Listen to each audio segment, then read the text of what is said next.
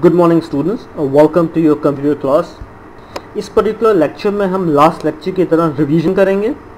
जिस तरह आपको याद होगा लास्ट लेक्चर में मैंने आपसे आईपीओ साइकिल के बारे में बात करी थी। मैंने आईपीओ साइकिल को आपको एक्सप्लेन करा था। तो इस पर्टिकुलर लेक्चर में जो फर्दर टॉपिक्स हैं आपके चैप्टर वन कंप्यूटर फंडामेंटल्स में दिए हुए हैं, मैं उनके बारे में बात करूँगा। So the topic for the day और two first one is CPU central processing unit और दूसरा टॉपिक है हमारा components of CPU so basically ये दो टॉपिक हैं जो मैं इस पर्टिकुलर लेक्चर में कवर करूँगा.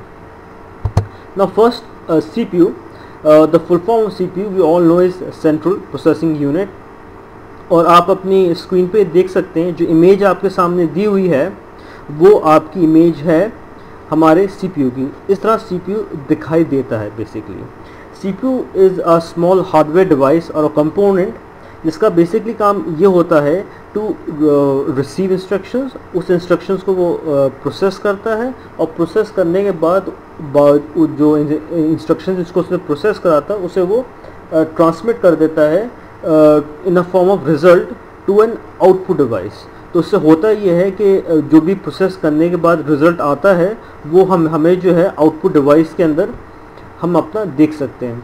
So so, as you must be aware जिस तरह मैंने आई पी साइकिल एक्सप्लेन करी थी कि हम जो हैं डेटा को जो है इनपुट करते हैं, वो डेटा हमारा प्रोसेस होता है और फाइनली वो आउटपुट होता है। तो जो डेटा प्रोसेस करने का जो काम होता है, वो काम बेसिकली सीपीयू करता है। क्योंकि आपने लास्ट आईपीओ जो साइकिल मैंने एक्सप्लेन करी थी, उसमें आपसे बात करी थी कि मुझे अगर डेटा इनपुट करना है तो उसके लिए मैं इनपुट डिवाइसेस का इस्तेमाल करता हूँ और आउटपुट के टाइम में जो हूँ आउटपुट डिवाइसेस का इस्तेमाल करता हूँ। जिसकी मैंने आपको दो एग्जाम्पल्स दी दी थी कि इनपुट डिवाइसेस कौन सी हैं और आउटपुट डिवाइसेस कौन सी हैं? तो जो बट जो मेन काम है डेटा को प्रोसेस करना, जो उसे इंस्ट्रक्शंस दिए गए हैं, उसके हिसाब से उस डेटा को प्रोसेस करना, वो क्या कौन करता है? वो जो करता है, वो करता है हमारा सीपीयू तो सीपीयू का बेसिकली काम होता है कि जो कोई भी इंस्ट्रक्शन उसके पास आ रहा है, उसको प्रोसेस करना। और प्रोसेस करने के बाद जब वो प्रोसेस कर लेता है और जो जो भी आउटपुट निकलता है, वो उसको ट्रांसमिट कर देता है टूवर्ड्स दी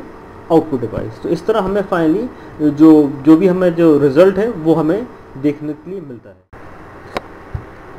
अब हम बात करेंगे कंपोनेंट्स ऑफ़ सीपीयू के बारे में। As you can see on the screen यहाँ पर दो कंपोनेंट्स हैं। First one is called arithmetic and logic unit A L U and other one is called control unit C U so first हम बात जो करेंगे, हम ए एल यू के बारे में करेंगे arithmetic and logic unit arithmetic and logic unit is responsible for handling all types of calculations and operation मतलब हर तरीके के कैलकुलेशंस और अगर ऑपरेशन हैं, उनको एलियो हैंडल करता है। अगर मैं एग्ज़ाम्पल की बात करूँ तो यहाँ पर आपके अर्थमेटिक ऑपरेशन जैसे प्लस माइनस डिवाइड और अगर लॉजिकल ऑपरेशंस जो हैं आपकी less than greater than equal to not equal to इस तरह तरीके के सारे आपके जो कैलकुलेशन एंड ऑपरेशन हैं it is been handled by the A अब हम आते हैं कंट्रोल यूनिट के ऊपर। कंट्रोल यूनिट का बेसिकली जो काम होता है is to handle the functioning of the processor और ये बेसिकली जो है मेमोरी